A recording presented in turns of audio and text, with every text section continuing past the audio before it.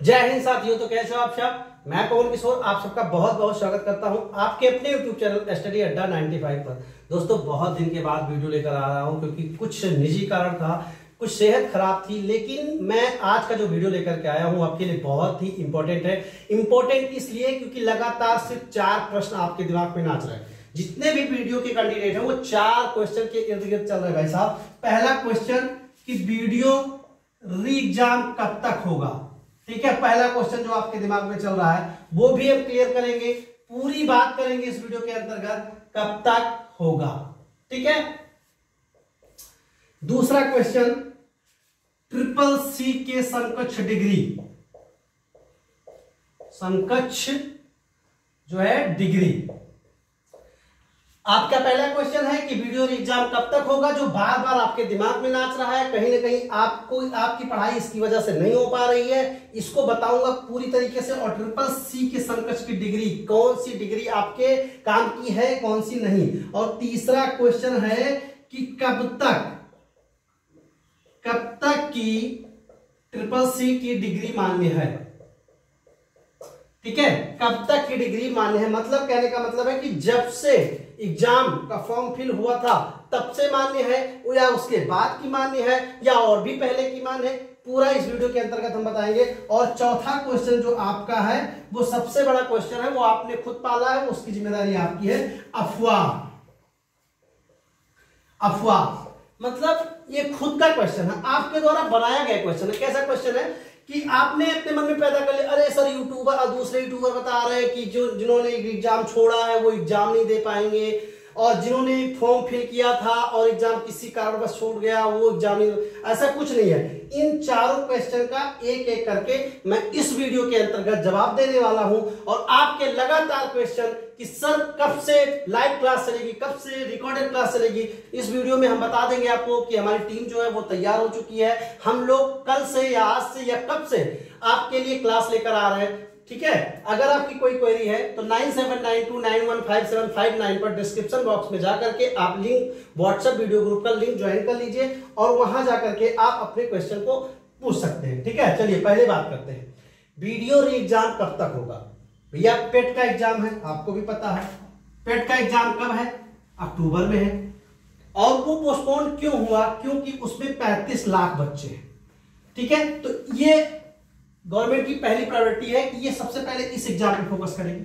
Second वो दे रही है वीडियो को, जो कुछ बच्चे कह रहे थे, आयोग जाएँगे, ये करेंगे, वो करेंगे। आज उनतीस अगस्त है, गए हैं आयोग सब लोग। हम तो नहीं गए। हमें पता है होना क्या है, क्योंकि मेरी बात हो चुकी थी पहले भी। ठीक है? तो ये वीडियो कब तक होगा, वो मैं पहले बता चुका हूँ कि वो आपका मिड नवंबर से लेकर मिड नवंबर से लेकर के आपका मिड दिसंबर के बीच में हो सकता है। पहला क्वेश्चन नोट कर लो। जो कहा था आपको सुप्रीम कोर्ट के बारे में मैंने, वही हुआ, वही यहाँ सेम है कंडीशन ठीक है? यहाँ भी कोई अलग चीज़ नहीं है। दूसरी चीज़ ट्रिपल सी के समकक्ष की डिग्री कौन सी ट्रिपल सी के समकक्ष? तमाम यूट्यूबर है। अरे, वो यूट्यूबर कहाँ गए थे? जिस दिन आपका सुप्रीम कोर्ट में याचिका, पहली याचिका दायर हुई थी।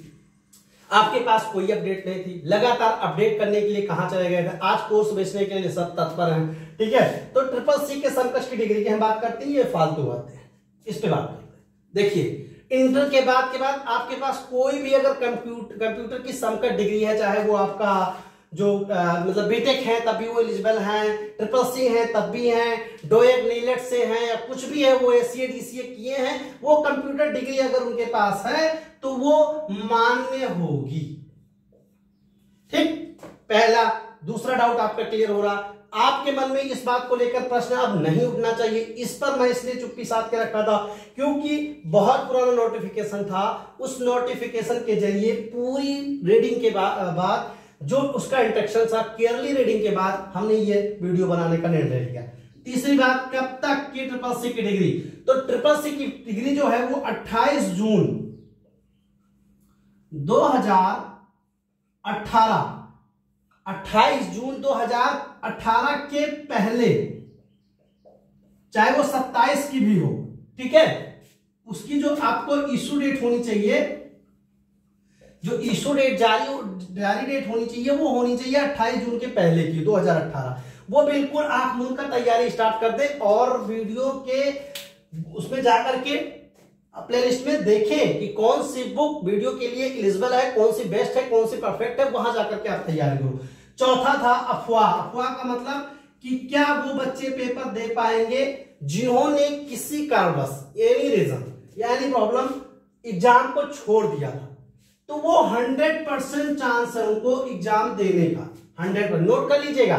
ये हंड्रेड परसेंट उनको चांस है कि वो आपका एग्ज़ाम लेंगे। क्यों लेंगे? उसका एक बहुत बड़ा कारण है, क्योंकि चौदह लाख उनको बनाना है। चौदह लाख फॉर्म था, साढ़े चौदह लाख समथिंग तो उनको साढ़े चौदह लाख बुलाना ही है। उसमें से अगर वो छटनी करने लगेंगे तो पहले से ही पाँच लाख कट जाएँगे, क्योंकि उस समय समथिंग साढ़े आठ लाख लोगों ने पेपर दिया था। तो इस क्वेश्चन का भी आंसर हमारे पास है कि आपको पेपर देने का मौका मिलेगा। एटलीस्ट एक बार इससे पहले हो चुका है ये। 2016 आरओ आरओ में भी मैंने देखा था, जो कैंसिल हुआ था और 2020 में जब उसको पुनः परीक्षा कराई गई तो उसमें जिन्होंने पेपर लीप किया था, उनको मौका मिला था। तो ये चार ऑप्शन और चार ऑप्शन बहुत बड़े हैं। इस पर आपको पूरी तरीके से जानकारी मिल गई है।